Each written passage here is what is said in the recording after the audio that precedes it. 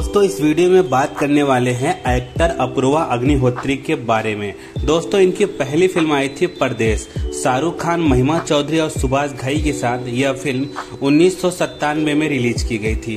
अब बात करें बॉक्स ऑफ़िस की तो यह फ़िल्म एक सुपरहिट फ़िल्म साबित रही। दोस्तों, वहीं इनकी अगली फ़िल्म आती है प्यार कोई खेल नहीं। सनी देवल महिमा चौधरी के साथ यह फ़िल्म उन्नीस सौ निन्यानवे में रिलीज़ की गई थी।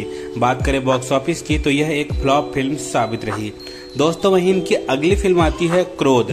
सुनील शेट्टी, रामभा, जॉनी लीवर के साथ यह फ़िल्म सन 2000 में रिलीज़ की गई थी। बात करें बॉक्स ऑफ़िस की तो यह एक फ्लॉप फ़िल्म साबित रही।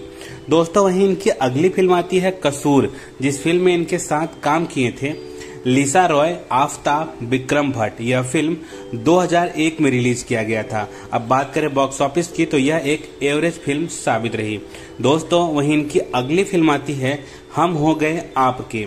फरदीप खान और रीमा सेन के साथ यह फ़िल्म 2001 में रिलीज़ की गई थी। बात करें बॉक्स ऑफ़िस की तो यह एक डिजास्टर फ़िल्म साबित रही।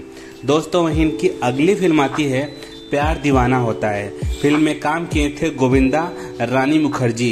यह फ़िल्म 2002 में रिलीज़ की गई थी। बात करें बॉक्स ऑफ़िस की तो यह एक डिजास्टर फ़िल्म साबित रही। दोस्तों, वहीं इनकी अगली फ़िल्म आती है ढूंढ द फॉग। इस फ़िल्म में काम किए थे इरफान खान और अमर उपाध्याय। यह फ़िल्म 2003 में रिलीज़ की गई थी। बात करें बॉक्स ऑफ़िस की तो यह एक डिजास्टर फ़िल्म साबित रही।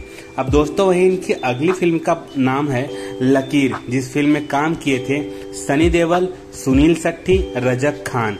यह फ़िल्म 2004 में रिलीज़ किया गया था। बात करें बॉक्स ऑफ़िस की तो यह एक डिजास्टर फ़िल्म साबित रही।